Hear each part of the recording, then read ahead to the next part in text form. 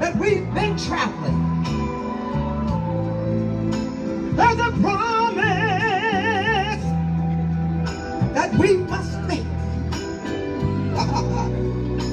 but the riches